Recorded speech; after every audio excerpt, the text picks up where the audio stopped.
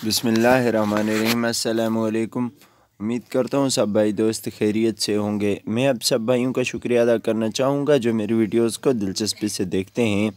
ये मुंद्रा हमारे किसी दोस्त के पास है भाई आदिल साहब के पास और भाई की लोकेशन लाहौर है। कोई भाई दोस्त लाहौर से ताल्लुक़ रखते हैं और ये बच्चा लेना चाहते हैं तो आप कॉन्टेक्ट कर लीजिए। ये बच्चा आप दोस्तों को प्रोवाइड कर दिया जाएगा।